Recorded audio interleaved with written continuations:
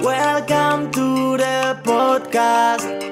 Súbele volumen. Conversation with the people who were with me. In the world TV. Carlos Tonight. Carlos Tonight. Historias de un reportero.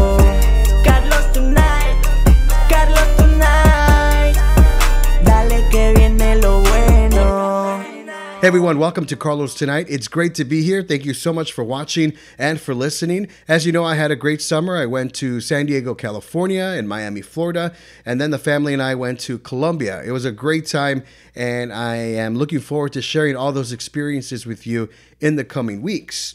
Now, a lot of people wonder how I and others afford going to all these trips.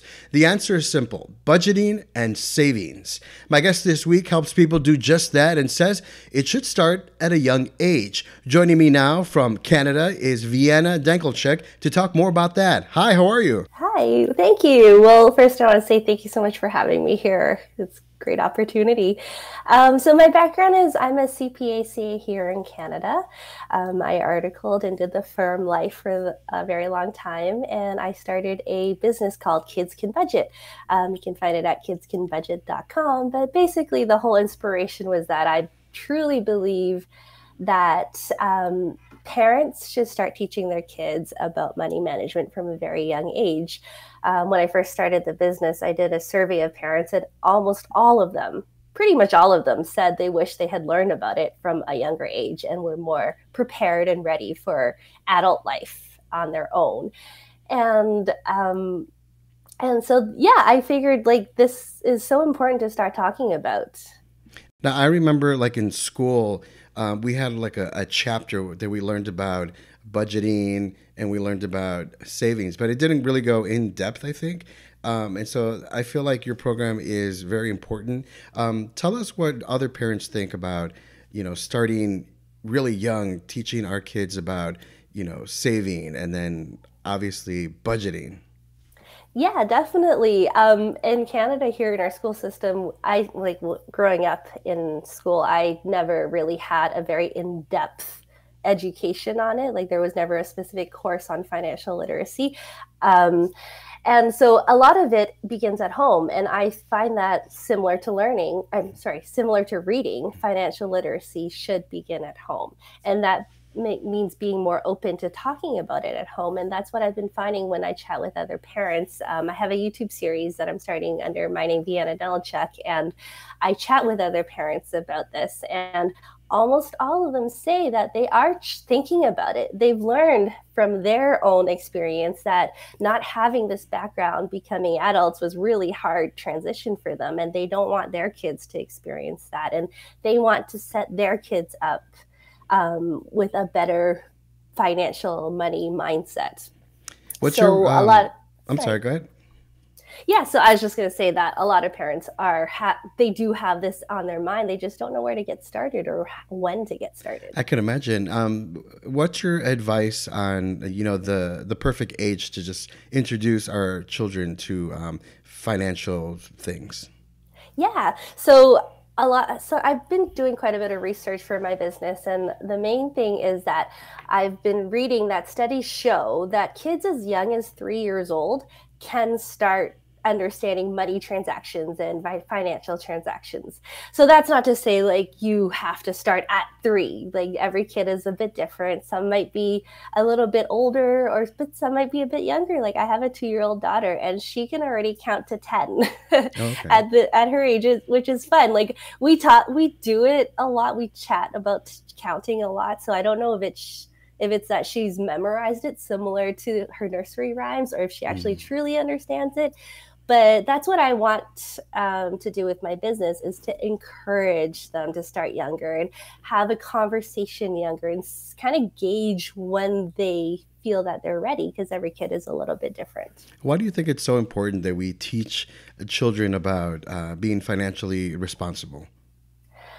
as a society i feel like we all struggle so much with so much debt it's uh, no, finances are a number probably a number one stressor in life if you don't have it if you don't manage it um, And I think that if you if we can train this money mindset the way we start learning to read and learning our everyday manners in mm-hmm. society if we can teach these money skills these budgeting skills from a young age i just think that our kids will be so much more set up for the future and it's being i don't know being an adult is hard enough. Wouldn't it be nice to have money not be one of the worries? Right? Okay. Yeah, yeah.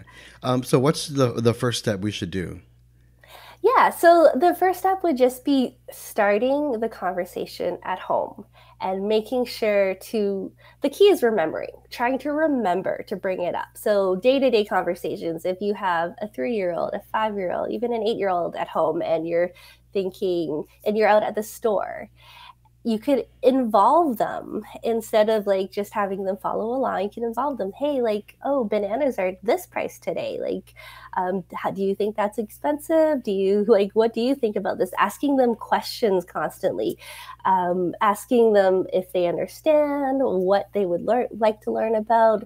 Uh, one thing that I want to teach in my course is to make sure to gauge their interest level. Like if they're not interested at this age, then they won't want to learn it. So see, like try to incorporate it in things that they're interested in.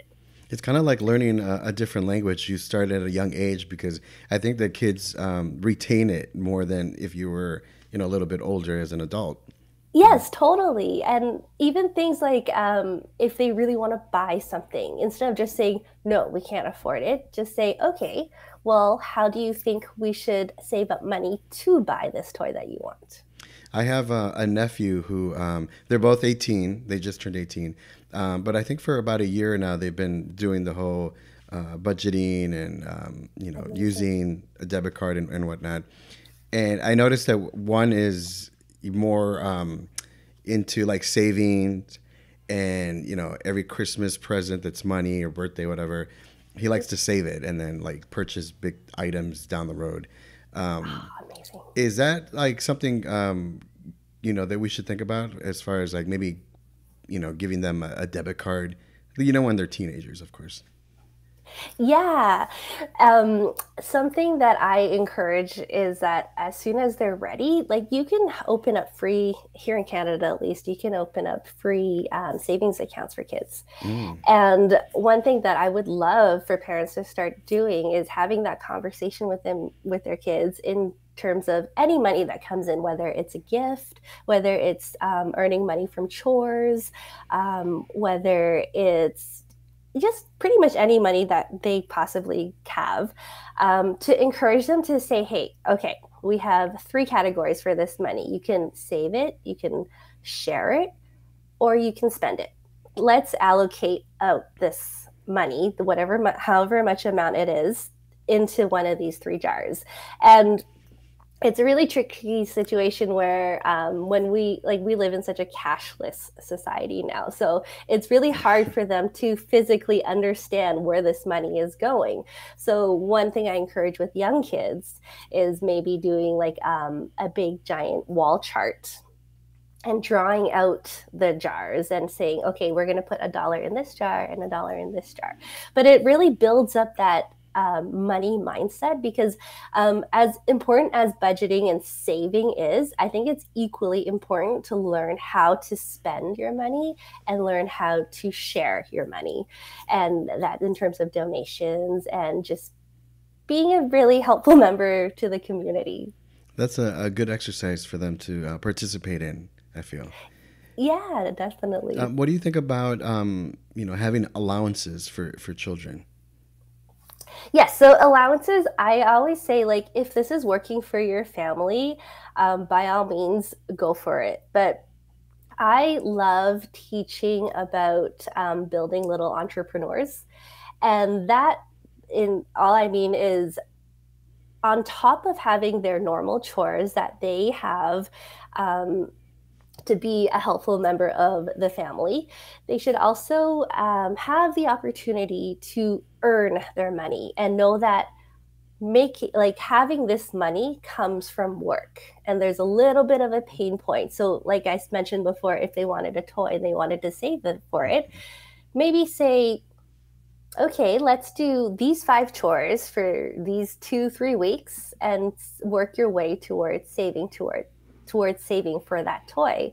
And ultimately let them buy that toy because part of the learning process is the spending of the money and for them and if they deeply regret spending that money after that is also part of the learning process because the mistakes that they make at this age is so much smaller than making these same money mistakes as an adult so let them feel that pain and hurt if you can at this age in terms of making money mistakes and that's a good segue to my next question, which was, what are some of the consequences of mismanaging, uh, you know, your money?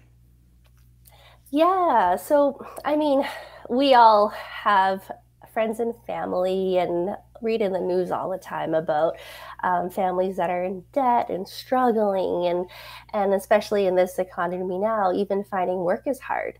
So like a lot of the times instead of focusing on mismanaging money i always like to try and focus on the benefits of managing your money and having a budget. And imagine if you had a life where you could have a six month runway of emergency savings. Imagine how that would have helped you through the pandemic. And that certainly helped my family because that's something we do in, in, in my family. Um, but imagine how much how much more you could breathe easily if you had these skills and wouldn't it be nice for your kids to have these skills as well?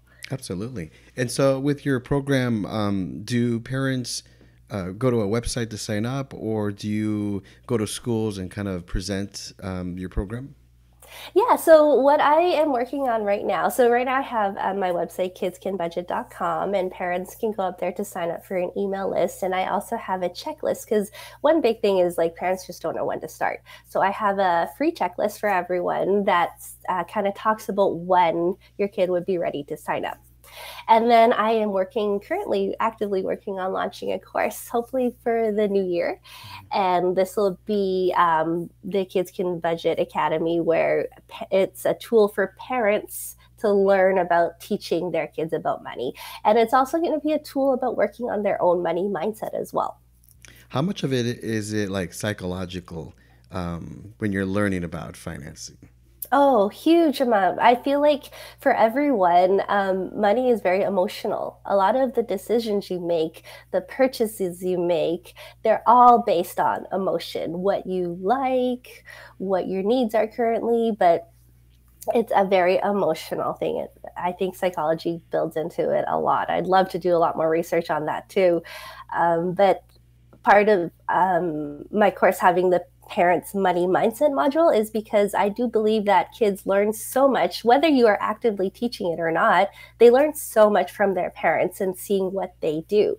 So if they see that their parents are huge spenders, then they may they'll probably grow up the same way, right? right. so, um, so a big thing that I also like to talk about is about simple living and minimalism because I do think that um, that goes hand hand in hand with budgeting. Mm-hmm. Um, with simple living and minimalism, it's setting priorities. And that's a huge part of setting priorities mm-hmm. or of budgeting is mm-hmm. setting priorities because we can aim to have everything that we want and need, but we can't have all the things. Right. I think um, when I was in college is when I was introduced to credit cards. Ah, yeah. And for me, it was just like, oh my God, I got so much money. And, you know, I just wanted to spend it on everything. Um, yes. From like the little things like a piece of gum, like bubble gum, I would just swipe it. Um, and then I learned, you know, that's not the route to get to go, and that was a bad idea, you know. Um, but as you get older, you kind of learn all this, and you do your research, and you find out, you know, you I guess you have to learn um, your mistakes, right?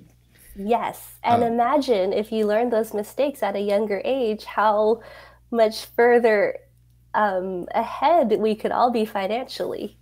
Yeah, and I, I you know, I, I, read articles about you know people in debt and there's so much money, and I was like, oh my god, you know, uh, like you said, if we only learn at, at a young age, and so, um, tell us a little bit about how um, you know parents react to to your workshop and your in your program that you offer. Yeah. So um, uh, most of the things that I've been doing is right now is with my interview series that I'm launching on YouTube. Mm-hmm. And I find like it's so valuable to get their insight on what happens day to day. And so much of it is really interesting because it goes back to what they learned as a kid and what they know. And that's how and whether it was not a good experience so they're actively trying to figure out how to do better for their kids or whether it was they did have a good experience but they just um, don't have an active program in place to start teaching them. So that's the big that's the biggest part of um, what i'm trying to help out with and just inspiring and everyone to start at a younger age. And um, i do have um, a, a workbook that uh, that I sell on my website as well. And I found like parents have found this useful because there is a beginner beginner section on your parents' mindset. So there's like a questionnaire on how you're feeling about money, and then there's a ton of activities for kids, and it's just basically ideas, ideas for how to bring this about into your day to day life and start talking about it regularly. A big thing I found interesting was that with a lot of parents, the they had said that money was kind of almost taboo to talk about as young kids. Like it, it we the consensus is that we're not sure whether it's just that they didn't want to talk about it because they thought that they kids are too young to talk about it or if they just didn't know how to talk about it or didn't have time to talk about it. But the general consensus was that it wasn't talked about for our parents generation. Yeah so yeah just having that mindset of hey this is okay to talk about like it's not to say like you have to share every little detail and scare them right. but it is great to have them know hey like like utilities cost this much or um, food costs this much and this is and this is how we work to provide mm-hmm. and it's it's also saying like this comes from hard work like mom and dad have it handled but it does come from hard work. And just letting them know that and understand that from a young age i think is mm-hmm. quite important. Absolutely. I'm i'm lucky enough to have a, a, dad who loves to budget. He loves working on you know the numbers. And so um, it's great when we get the opportunity to go grocery shopping because he does the grocery shopping. Ah, uh, yeah. so we go and he's like okay you know, here's my budget, and then he buys all the things that we that the family needs. And I just sit back and like watch him like at the grocery store picking and oh, looking at prices and stuff. And I was like, that's awesome. And um, and he taught us at a very young age when you go shopping, you kind of pick up the item and say, do you really need this now or can it wait? And then you go and save your money. So um, been blessed to have that, and I hope that a lot of parents are out there, you know, are doing the same thing, right? Yeah, that's amazing. That's so amazing that you grew up with that because that's the whole part of the parent's mindset. Mm-hmm. Even if he didn't actively teach you that, by you watching him, you probably learned so much about budgeting and being more mindful. And that one decision at the grocery store carries on to all other aspects of your life. So that's wonderful that you had a dad who did that. Absolutely. And you know, now I can go and on vacation and go places that I want to go, right? Um, yes, um, amazing. Tell us again uh, where can we can find your your website and uh, connect with you. Yeah, so my website is kidscanbudget.com. Um, my YouTube channel, where I uh, talk about a bunch of things like um, simple living, but mainly tips, provide tips and inspiration for budgeting. And I also chat with other parents about teaching about money management, management to kids. Um, my YouTube is under Vianna Danilchuk and um, I also have a Facebook page for Kids Can Budget, and it's just at, at Kids Can Budget. Um, but the main part is if you want to get on my email list um, through kidscanbudget.com, then you will be on a wait list for my upcoming course, which I'm very excited to share. That's awesome, Vianna. Thank you so much for joining us and for sharing. And of course, I'll be putting all your information in the show notes so people can connect and sign up. Thank you very much for your time. I appreciate it. God bless you. Thank you so much for having me. I really appreciate it. And that's a wrap. Thanks so much for watching and for listening. Remember, you can check out my website, carlostonight.com, for more information on the podcast, see upcoming guests, and check out past episodes. That's carlostonight.com.